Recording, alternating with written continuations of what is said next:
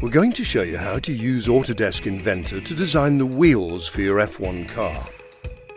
We'll begin on the Get Started tab by clicking on New and opening a new page. When the New Page dialog box opens, click on Metric and make sure you're working in standard millimetres, then click on Create and that'll bring up your drawing page. Begin your drawing by clicking on Start 2D Sketch. That'll bring up your planes, and it's best to choose the XY plane. To begin creating a wheel, the first thing you need is a circle. So click on the circle icon on your toolbar, and if you take your cursor to the center point where your X and Y axes intersect, you should see the dot turn green. Then, if you move your mouse, you can enter a dimension for your circle, which is 24 millimeters. If you enter an incorrect size or you want to change it, all you need to do is click on Dimension on your toolbar, click on the number on the diameter of your circle, and a box will appear into which you can input the new dimension you want to change to. Just as an example, we'll put in 25 millimeters. Then you click on the green tick, and that'll change the circle to that size. So now you need to finish by clicking on the green tick on your toolbar. The next job is to extrude your circle so that it looks more like a wheel.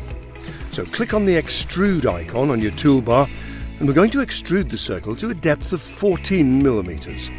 So put that figure into the dimension box on your screen and click on the green tick. Next, the wheel needs to be hollowed out. So click on the shell icon on your toolbar, then click on the front face of your cylinder and you'll then have a dimension box into which you can put the thickness you want the wheel to be when it's hollowed out. So put in 2 millimeters. We're going to be using 3D printers to make the actual wheel and they struggle with anything less than 2 millimeters, so make sure not to put in anything smaller. So you should now have a shelled out wheel. If you hold down the wheel on your mouse and your shift button, you'll see you can turn your drawing around and look at the design you've created like this. Now you need to make a hub inside your wheel. So you next need to click on the inside front face of the wheel and it'll give you the option to create another sketch on your existing one. You need to draw a second circle before extruding that. So follow exactly the same procedure as before, click on the center point and make your circle 8 millimeters. Finish your sketch and click on extrude and extrude your new circle out by 10 millimeters and click on the green tick. Now, if you press down the wheel on the mouse again and press Shift, you can move your drawing around until you see the back of the wheel. Click on the back face and again create another sketch. Draw another circle and this time make it 3.3 millimeters, which is the standard size of the axle we have to use to attach the wheels onto the Formula One cars. Finish the sketch and extrude the new circle, but this time it has to be a hole, so choose the second option down in your extrude dialog box, which is cutaway, and that'll create a hole of the right size in your wheel hub for the axle. Extrude the hole by 8mm and that'll ensure that it doesn't come through the front face of the wheel hub. Click on the green tick to confirm that.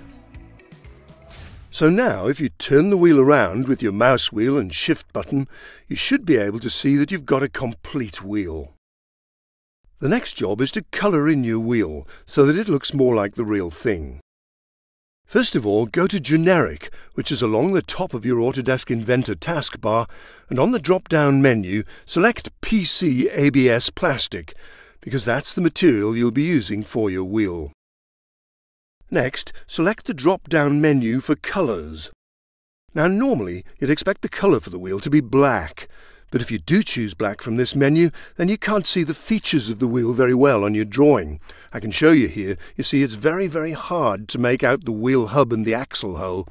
So it's probably better to choose gunmetal so that you can make out the features of the wheel a little better.